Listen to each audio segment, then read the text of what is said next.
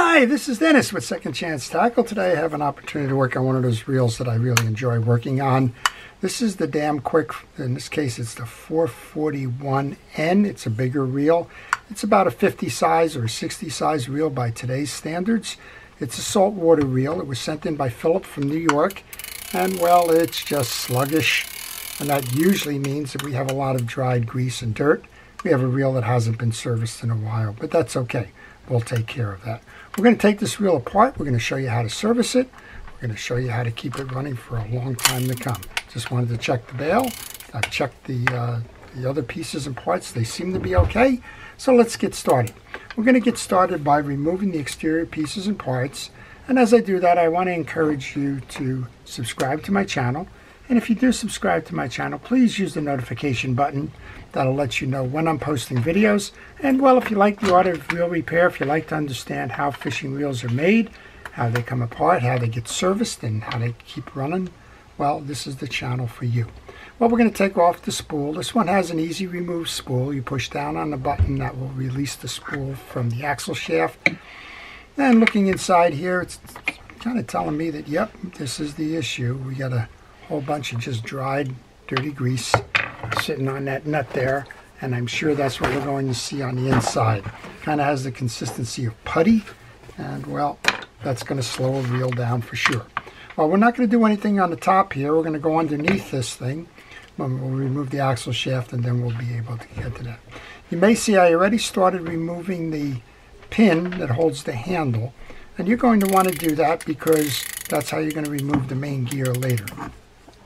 I have a punch set. It has all kinds of shapes and sizes of the punches. Little convenient hammer and everything in there. I don't remember exactly where I got it, probably Amazon. It's not a very expensive set to get. If you're going to work on DAM Quick reels, you're going to need the punches. Well, I found the right one that's going to center into that hole there. You can tap the pin out. And if you're lucky, you'll get the pin to stay in that little uh, ridge, but past the point where it's needed to get through the, the handle part. And that makes it easier to install when it's time to reinstall. When I take the pieces and parts off, they go into a parts tray. I use the bottom of a fast food container to hold my parts. And I always recommend that you have a system to deal with the parts that you remove from the reel. I get notes from time to time from folks that say, I've taken the reel apart. I can't get it back together. Can you help me? I call them reel in a bag projects. I'm happy to help uh, try and get that reel back together again. But one of the things that's often missing is the parts because some parts were left on the desk or uh, rolled off the table or got lost in transit, whatever. Just make sure that as you take these off, you know where they go and you know where you're storing them when it's time to re reinstall. Where do they go? Take pictures along the way. Like that little shim washer goes between the handle and this adjuster. This adjuster makes it a collapsible handle.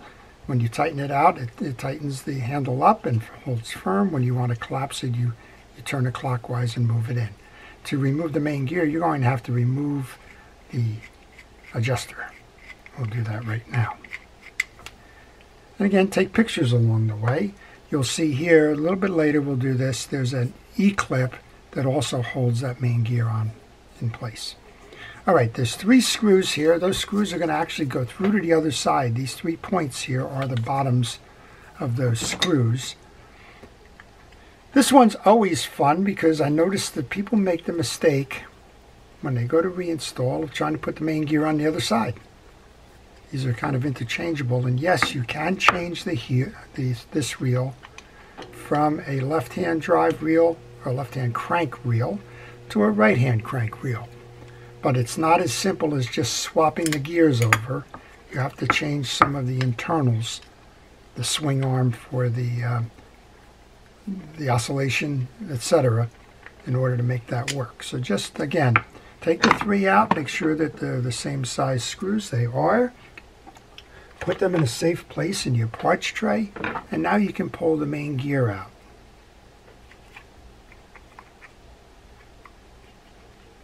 I think we probably have the crossline arm attached on this side. Let's take a look. Now we can pull the, the side plate and we can pull the pin. That's what's holding this, this gear in place right now. But we can do this two ways. And the easy way to do this is to take the E-clip off at this point.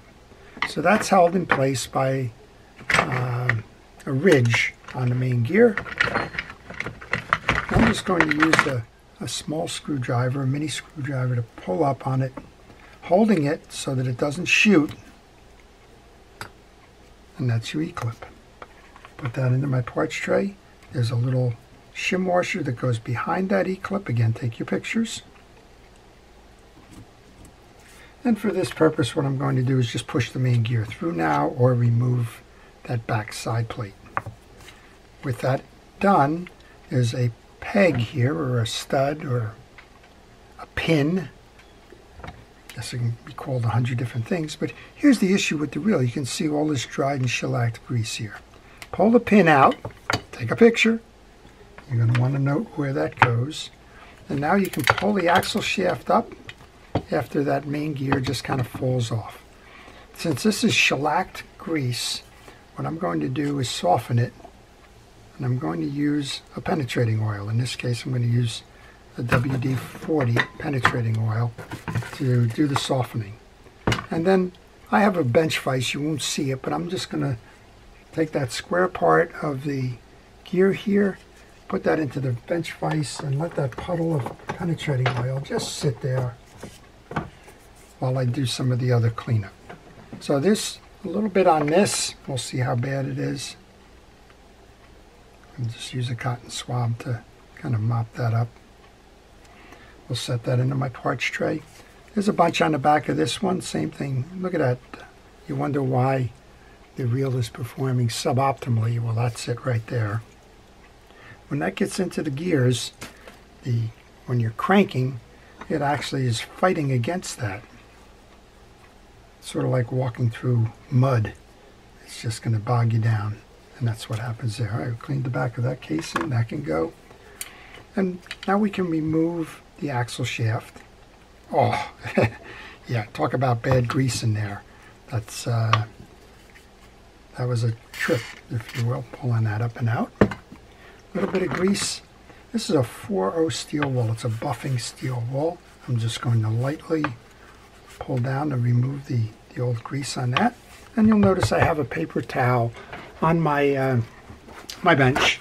And that's to keep most of that dirt and grease and grime and debris off the bench so I don't transfer it to the next project. Well, we got some more here. So let's clean this up. And a lot of what you're doing when you're servicing a reel is, is just this. You're, you're doing a cleanup of the old greases and the like. Then you're doing parts inspection. You want to make sure all the pieces and parts are good. If they're broken, well, you're going to have to replace them. And on a reel like this, it's getting increasingly difficult to find these reels. They were well over engineered at the time. They're treasures, but uh, finding replacement parts for them is not easy. All right, well, we cleaned up that side plate now.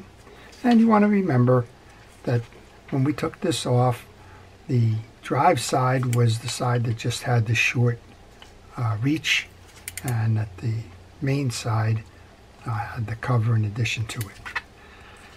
All right, we got to get that nut off there because we want to remove the main gear. I think that's a 10 millimeter piece, and the only way you can get that off is with a deep socket you can't take a wrench like this and work in it. It's just not, not going to be able to close that. Let's grab a 10 and see if that's the piece. Okay, well I had to stop the video for a moment because the walls on these uh, sockets were too thick, so I had to go find one that was thinner, and I can use a nut driver on this. So we'll do it this way. And that way we'll be able to get that nut out. There's a shim washer under here. Pay attention to the way that this spring is set for your bail and we should be able to remove this up and off now. Again, there's a washer on there. Pay attention to it. I'm just going to use a little bit of penetrating oil there. And while I'm at it, I'm going to oil the two sides of the bail arms. Now this bail was working, so you don't need to do anything with that. Here's your internal look at the uh, mechanism. This is going to be your uh, trip mechanism. This is a, a um, snap ring, and that's going to hold your piece in. So in order to remove a snap ring, ring you need the aptly named snap ring pliers. I'm going to put one in each side. They come with studs. Put it in each side. Hold the top of it. This thing can shoot, and you'll be looking for it for a long time to come if it does. So that's your snap ring. And here's a closer look at the snap ring pliers. They're kind of on a 90 degree, and they each have a stud, and they fit into the holes of the snap ring just like that. Okay, put that in. There's a tension washer underneath. It's a rippled washer. Don't try to straighten it out. And we should be able to pull the main assembly, the pinion gear and the bearing out with that. Put those into the basket.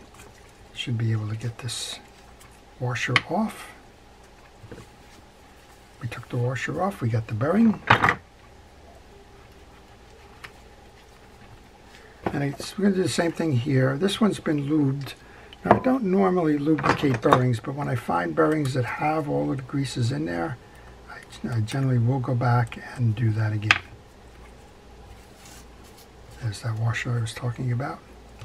Looks like we're packed on both sides here. And what I'm going to do, I'll just let the penetrating oil do its thing.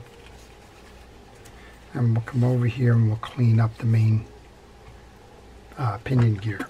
To do that, we'll do the same thing. We're going to hose that down to get that dried grease. And you can see why the performance on this one is so poor. It's all that dried grease in there, not allowing the wheel to track. This is why I put the paper towel down. All that stuff would be on the bench if I didn't. And I'm just using a hard brush to clear those channels. Another good squirt to dissolve what's left in those tracks. Now I'll wipe it down with the paper towel. I'm holding my my fingers to it so that I'm kind of clearing out the tracks with my nail. You can't see that, but that's what I'm doing. So if you have any questions on this reel or any reel in particular, just kind of leave it in the, uh, the section there. I'll try to answer those questions for you. I'm going to put that bearing back on, give it a spin. It's spinning nicely. So that's not an issue with this uh, particular reel. It's got a, a good amount there. I'm just going to go ahead, wipe this down one more time, get some of that older grease away. And because that's grease packed, I'm going to leave it with the grease. I'll just put some fresh grease on the top. There are bearing blasters. I actually have one around here somewhere. You can blast it out and repack. This one doesn't seem to be complaining. I'm going to leave it as it is. What did seem to be tough was getting that axle shaft out. And you can see there's a lot of dried grease on both sides here. So I'm just going to put my finger over the one side, hold this down, flood it with some penetrating oil, and we'll see if we can work another uh, cotton swab through there. Pick up all that old grease, kind of clean that channel out. And then the best thing to do is just test that right before you even go back. Just put your axle shaft back in and make sure that it runs up and down nice and smooth, which it does. All right, time to reinstall this. Before we reinstall, you want to get your grease brush and your fishing reel grease. I'm using uh, Penn Precision Reel Grease for that. Let's go ahead and grease up the teeth of the spinning gear.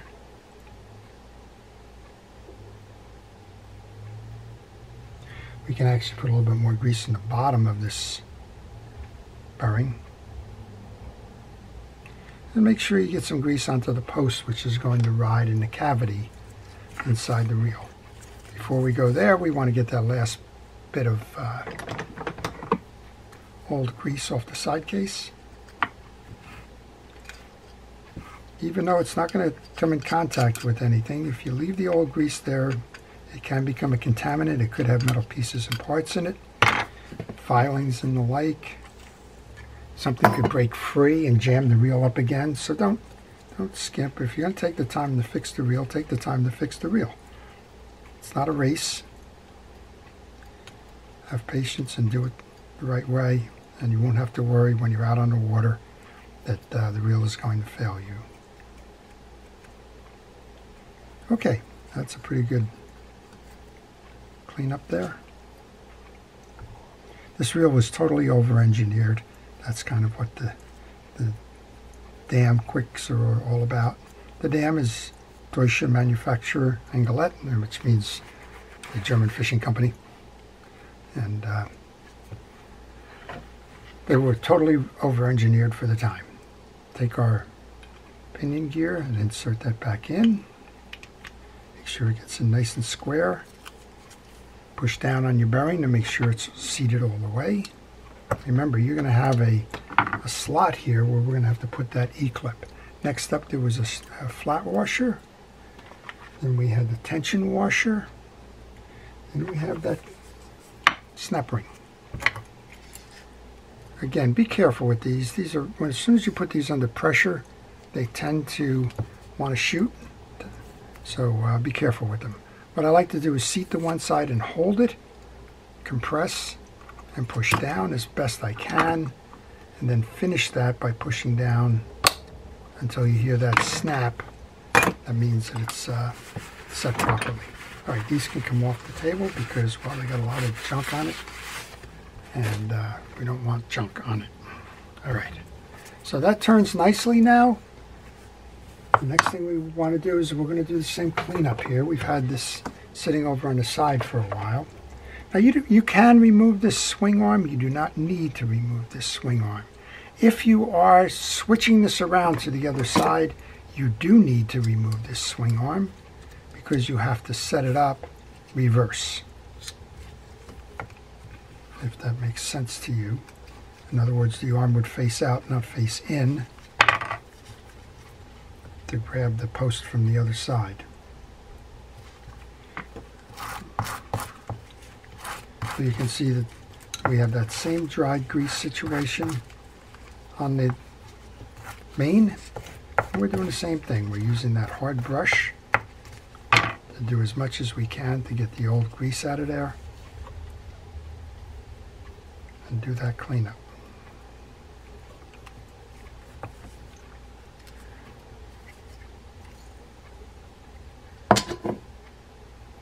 One set. Just use a different brush because that other one's pretty dirty.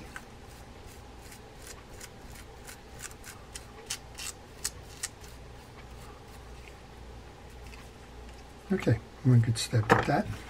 Just going to wipe that down now. And one more time with these teeth. I just noticed that there was a little bit more than I had thought that there was in there. All right, in good shape. All right, we're going to take the, the grease now. We'll grease up the main gear.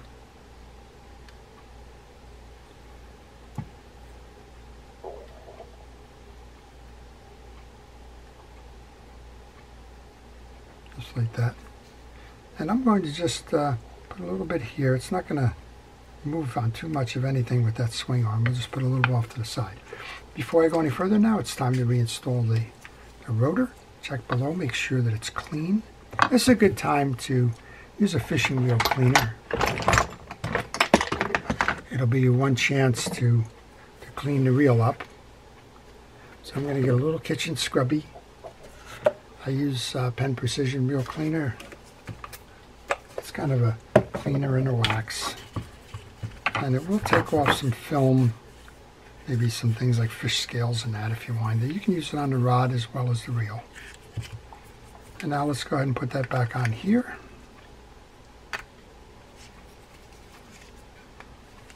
When you do this, you're going to want to push up on that uh, pinion gear. We have that washer is inside there. Now we're going to use our hand to start this because you don't want to cross strip it.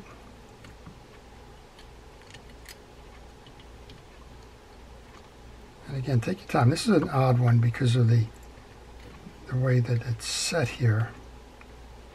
And you have to find that thin-walled um, ratchet socket.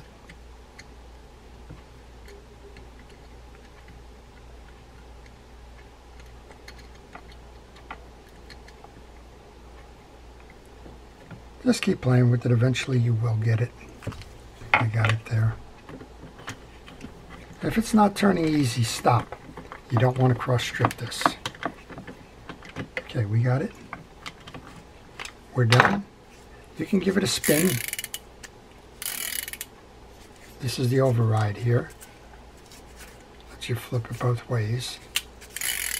Get that nice noise that those classic reels make.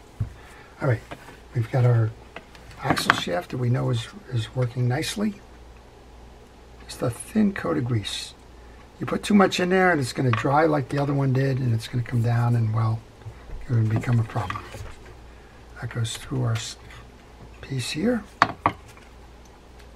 Now we can put the main gear in.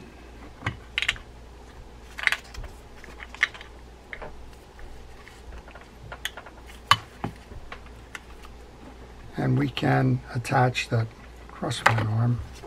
Oh, I guess we can go all the way with the main gear at this point. Put the main gear back in.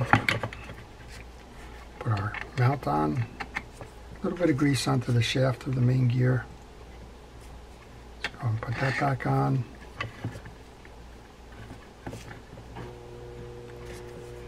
Shim washer.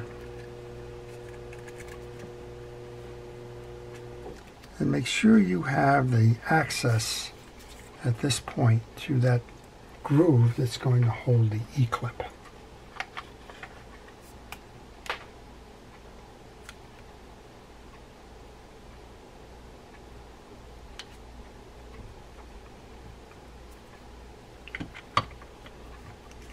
If you're having difficulty with the E-clip, use an assist. Use a pair of pliers or something to pull that in.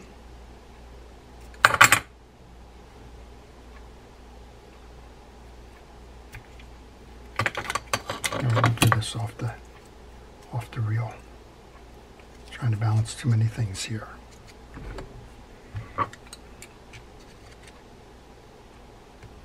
There we go. So that's your clip. And to make sure it turns easy after you've installed that clip. Now we can kind of snake it back and through.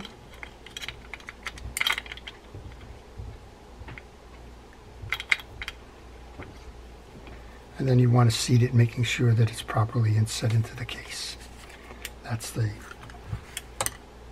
one side. We'll bring this over now. Bring the axle shaft down.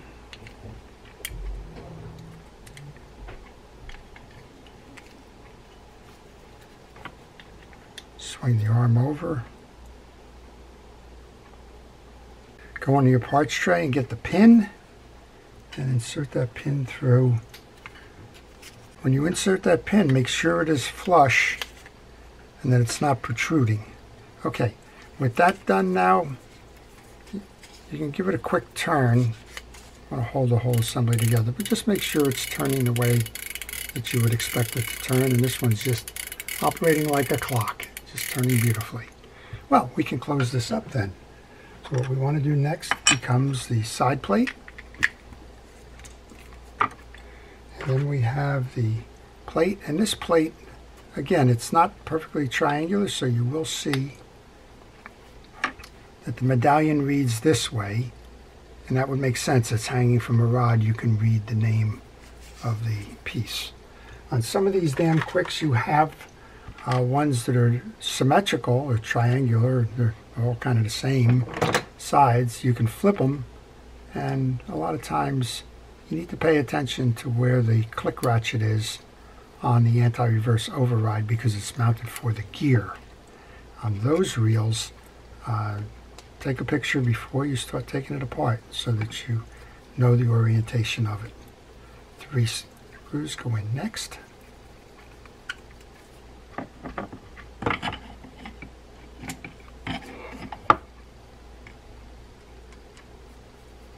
We'll check the spool out after we put the handle on. The handle, we have the shim washer that goes on the handle. And we have our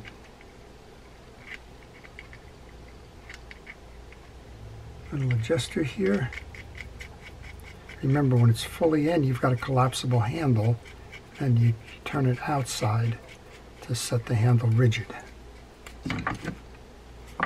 One of the nice things about leaving that pin in is you have the orientation to the,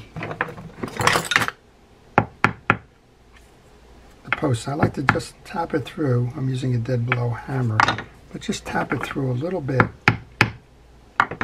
like that. That's probably too much. But leave it coming through a little bit and then as you go to put it onto your handle, you'll feel it when it clicks in to the spot. Of course, it was just a little bit too much. I kind of figured that out, didn't I? Pull that out a little bit.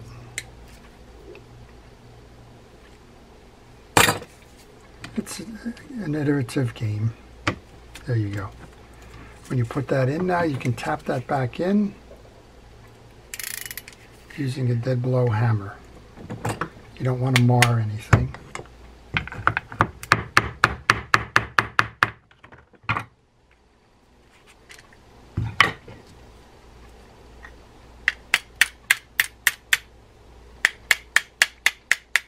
Trying to show this for the camera is not easy. And make sure you're beneath the handle there. To tighten that handle up now, counterclockwise, and that's how you set your handle. And we know now this is just going to crank away beautifully. All right, let's take a look at that spool, see what we can see.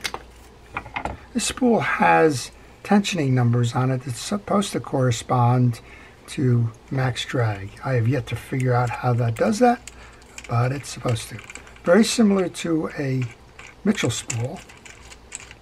You're going to remove this adjuster knob.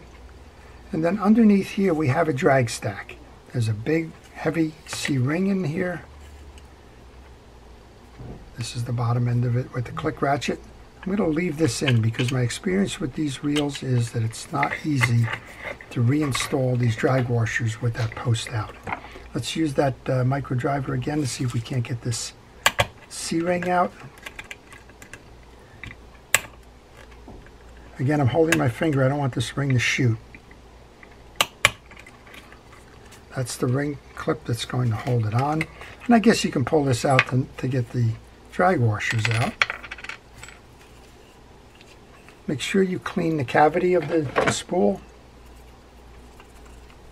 There's a little bit of dirt in the bottom of it. My kind of all-purpose cleaner here, that uh, WD-40 or penetrating oil. I don't have a preference. Uh, that's uh, going to make the difference. Looks like we have just two washers in here. This one is a hard washer, so you don't need to do anything with this one. The way that this sets up is you get this little tension washer in first. Then we have the octagonal washer. Then we have the oct octagonal drag washer. Then we have the round washer. I just said before it probably goes in a lot easier with this thing out and set in place because this has got that ridge side on it. So let's go ahead and put that back in. Put that on. Now we can grab that circular clip again. Not an easy install here. One side goes into the groove. A lot of hand strength required on this one.